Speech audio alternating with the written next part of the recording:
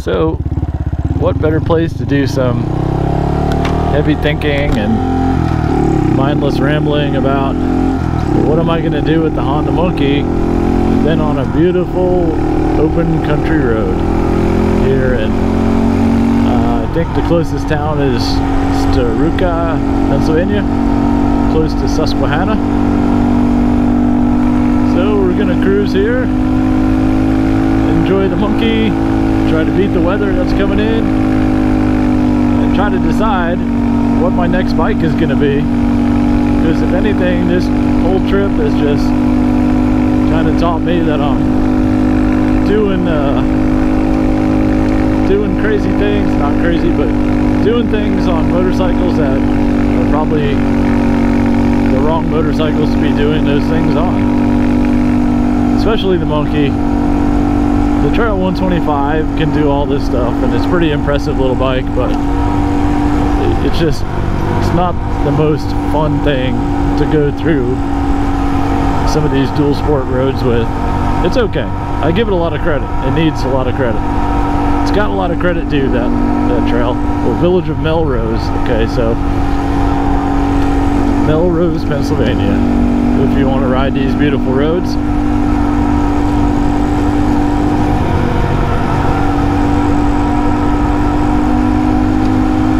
Basically I'm putting the monkey back where it really belongs. On a country back road with a speed limit, which I'm not really aware of, but I'm going 40 miles an hour. And it's kind of where the monkey is comfortable. I can squeeze a little bit more out of it.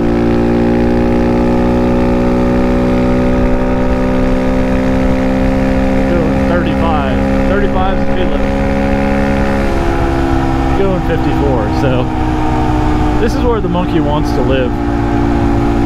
Fun fact, last year I took this road before a storm and I got rained out bad and I hid in this carport right here next to those cars. The people didn't even know I was there. That's what's cool about the trail is that the exhaust, the stock exhaust is so silent on it, you can creep around, so.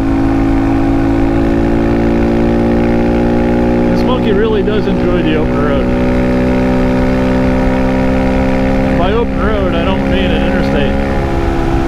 I mean a country back road or a neighborhood road or a road with not a lot of traffic. I'm uh, deathly afraid of traffic on motorcycles, so I'll probably never find myself on anything that's a road bike. And that's where that's the point I'm getting to.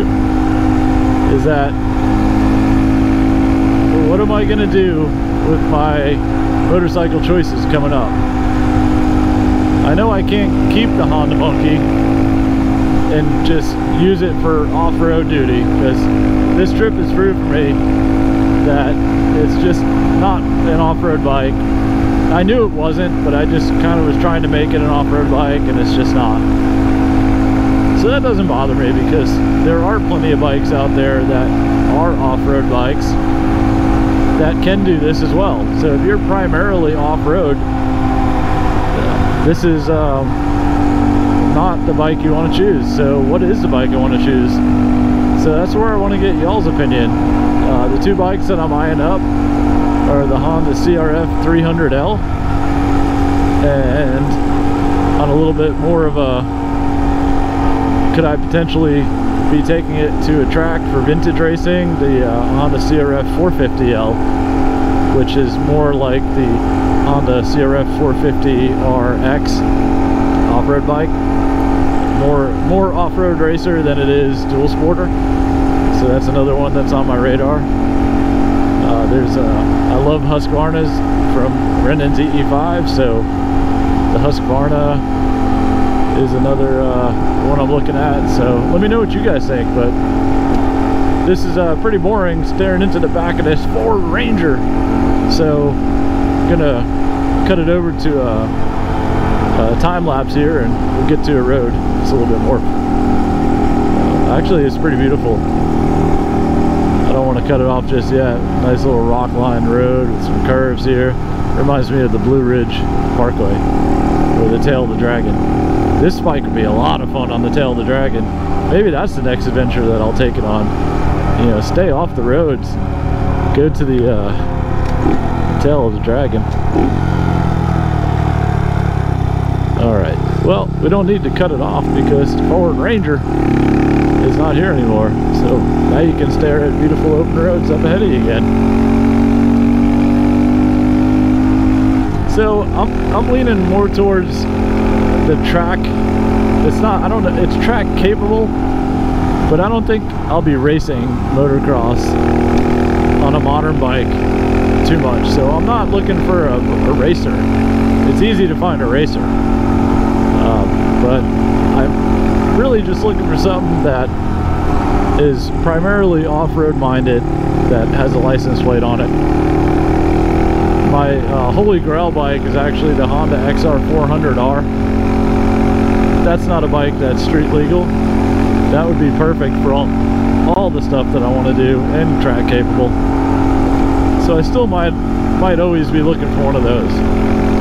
But I, I might want to dabble in some hare scramble races back in Florida, some enduros.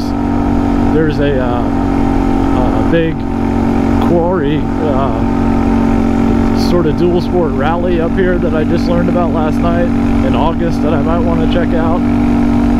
And I don't really have a bike to do any of that stuff with. With all the bikes I have, the only one I have that's capable is my 79 RM 250. So that's a vintage motocross racer and not really a trail bike. So basically I need a, a bike that'll pound the trails, can hit the roads if I want legally, and also um, double as a maybe a backup bike if my RM250 takes a dump on a vintage weekend, which it very well could and it has. So well, let me know what you guys think. Uh, this has been something that's been weighing on my mind all week. I want to see what you guys think about that.